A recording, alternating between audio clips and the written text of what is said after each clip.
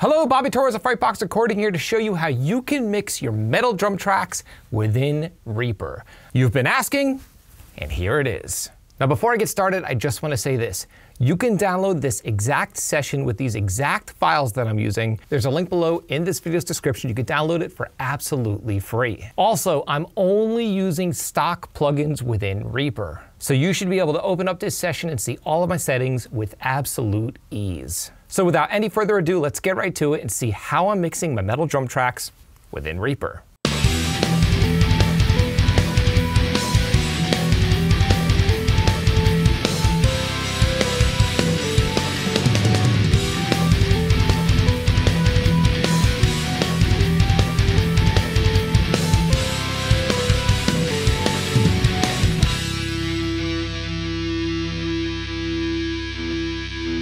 Okay, in my opinion, that's not a bad sounding drum mix. And the good news, it was extremely simple to dial in. And again, I only used stock plugins that come free with Reaper. And on top of that, I'm not even using any drum samples. These are 100% natural drum tracks. I just want to say this, I have nothing against drum samples. I use them all of the time myself. Now I'm usually using raw samples taken from the actual drum set that I'm recording. I just decided to mix this particular track using no drum samples at all, just to show you how simple drum mixing can really be. So let's start this video off with the routing. So if we look here, we have a kick track, a snare top track, snare bottom track, rack tom, floor tom, overhead left, overhead right, room left, and room right. Those are all of my audio tracks, as far as drum tracks are concerned. And the way that I'm routing my drums is pretty straightforward.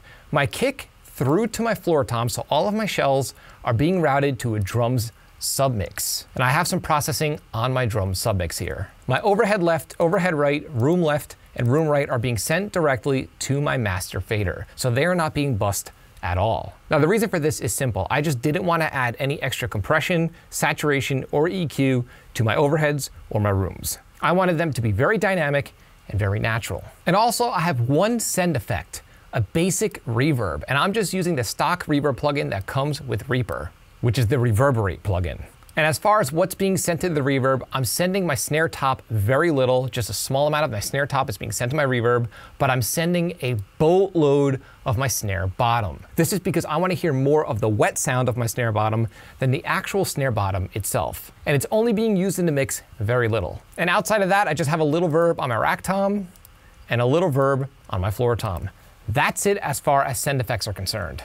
I have no reverb on my kick, overheads, or room tracks. Now, like I said, my kick through to my floor tom is being bussed to a submix. This submix called drums. The first plugin on my drum submix is just a basic EQ. I'm rolling off all frequencies below around 40 hertz just to get rid of that super duper sub range that I don't really need on my drum tracks. And I'm just using a low shelf to pull out a little bit of extra low end and reduce a little bit of the lower mids. Nothing extreme. And again, I'm just using the stock ReaEQ that comes free with Reaper. Aside from that, I just have some basic parallel compression on my drum bus. Now the way I'm achieving parallel compression is just by adjusting the wet dry knob on the actual compressor plugin within Reaper. Now I think this is an excellent feature that's available in Reaper that unfortunately is not available in my main DAW, Pro Tools. In other words, in Pro Tools, if I want to have a wet dry mix of a plugin and the plugin doesn't have a wet dry knob built right into it, I have to do it with a send. In Reaper, they give you this nice knob here, which comes in very handy. So I didn't even have to go and create another bus to create parallel compression, which is awesome. So let's take a look and see at how much parallel compression is happening on my drum bus.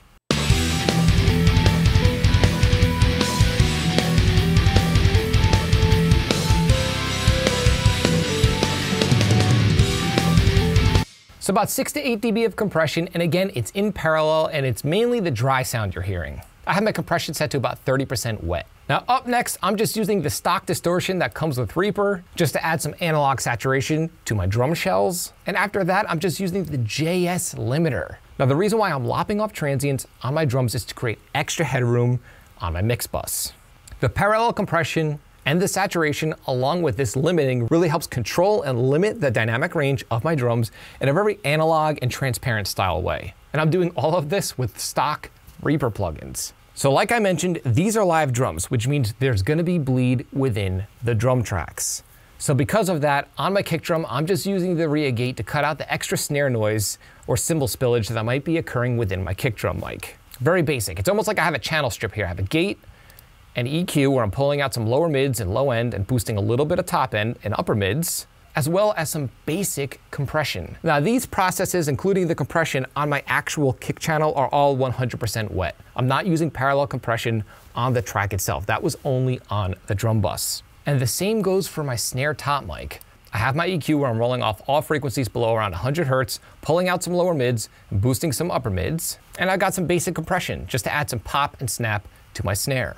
Same goes for my snare bottom. I just got a gate, an EQ. Now, this EQ might seem extreme to you, and this is because I'm getting the majority of my low end and punch from my snare top mic. So I'm only using the high end sizzle from the snare bottom mic. As a matter of fact, right now I'm gonna solo my snare top mic, and then I will add in my snare bottom just so you could hear how much it adds to my snare sound.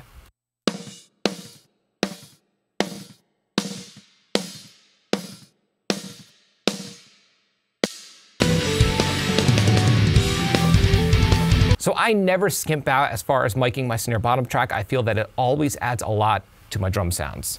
Now, if you look here, I'm not using a gate on my tom tracks, and this is because I've gone in and manually edited my tom tracks and cut out all of the dead space in between the tom hits. I found this method to be much better than using an actual gate because the cymbals will always trigger the gates when you don't want them to. Now I know it takes a little bit of time up front to edit your tom tracks, but in my opinion, it'll save you time in the long run when your drum mix will be a breeze. So on my toms, I have an EQ. This is the EQ on my rack tom, pulling out some lower mids, boosting some top end, rolling off all frequencies below around 70 hertz. Very similar EQ on my rack tom, and just some basic compression, just to add a little bit of snap to my toms. Now, as far as my overhead tracks, I'm not using any compression at all. This is because I was happy with the way the drummer was playing and he didn't smash the cymbal, then play lightly. He was a very balanced player. So I didn't have to use a lot of compression. Also, over-compressing your overheads will bring up the hi-hat way too much and can really destroy your mix. Hi-hats are annoying. So on my overheads, I'm just using some subtle saturation just to add some analog vibe to my overhead tracks. Now, as far as the EQ on my overheads, again, it looks pretty extreme. But the reason for this is simple. All of this mid-range is being filled in by my drum room tracks. So I don't really need excess mid-range in my overhead tracks because I'm already getting that information from my close mics as well as my room mics. I think of overheads, especially in hard rock and metal, as cymbal mics. I don't care what my drum set sounds like in my overheads. I'm using them just to capture the cymbals. And I'm gonna bypass all my plugins and then I will re-engage the plugins so you could hear what they're doing to my actual cymbal tracks. Let's check it out.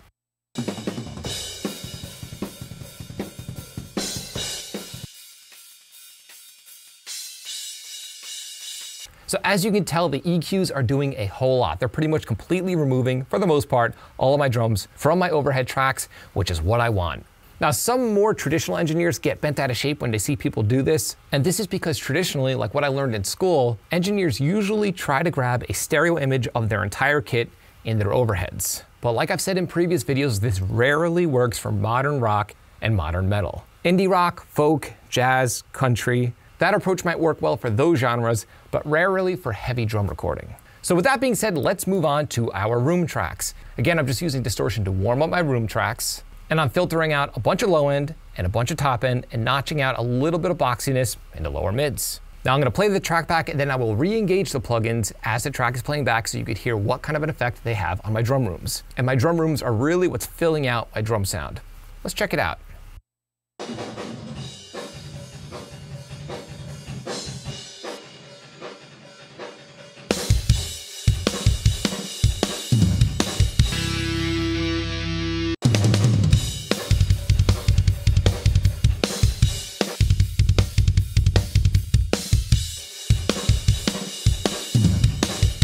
Yeah, so as you can hear, my drum rooms really add a nice natural ambience to the entire kit and really help glue it together. I'm more a fan of using room mics to glue my kit together than a ton of processing and compression. That's just me. I also want to mention this.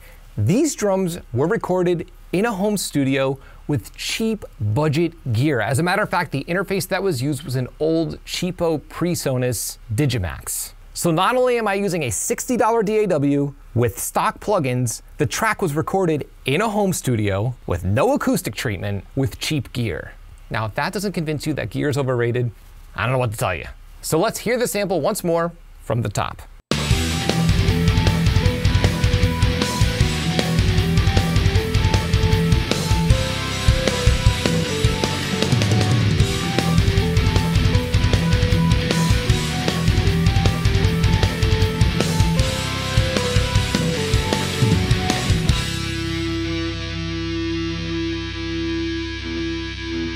So there you have it. That's how you can mix drums within Reaper using only stock plugins without even using drum samples. And again, you could download this exact session for absolutely free. There's a link below in this video's description. It includes the session, all of my plugin settings, as well as all of the files that I'm using within this mix. Download it and use it as a template or a starting point for your own mixes. So tell me, are you a Reaper user? Me personally, I'm actually more of a Pro Tools user, but Reaper really is a steal. For $60, it's pretty incredible. So tell me if you use it. I'd love to hear if it's your DAW of choice. Leave a comment in the comment section below and let me know. If you found this video helpful, like, comment, subscribe, and share. And do not forget to click the little bell icon so you can be notified every time I upload one of my weekly videos on all things metal and rock production. You can both like and follow me on Facebook and Instagram. Links are in the description below. And again, you can download this exact session for absolutely free. There's a link below in this video's description. Till next time, happy mixing.